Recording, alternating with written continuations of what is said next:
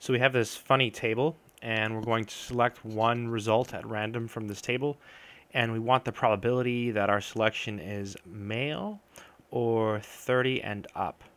So male or 30 and up. So we want the probability that the person we select is male or 30 and up.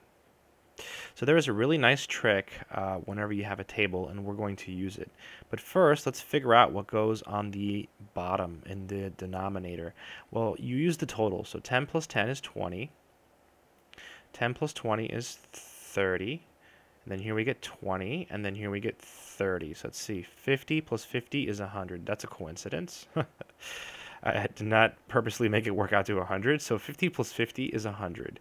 And here's the trick. Whenever there's an OR in the problem and you have a table, all you do is circle everything and add.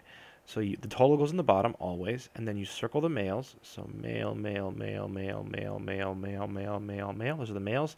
And 30 and up, well, these are already circled, so we just have to circle these here. 30 and up. So we have to get these people too. All right, then we just add 10 plus 10,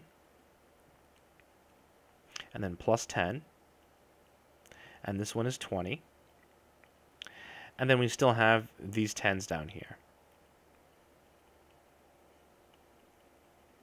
And so, well, I guess we had 100, so it's everything except 30, right? So 70, but circling an add works. What if the numbers weren't as nice? So this is 10 plus 10 plus 10, that's 30, 50, and then, yep, 70. So 70 over 100, so 0.70. So to recap, whenever you have a table, all you do is you circle the males, you circle the people that are 30 and up, and you add all you add it all up and that goes in the numerator. And on the bottom you just use the total. I hope this video made sense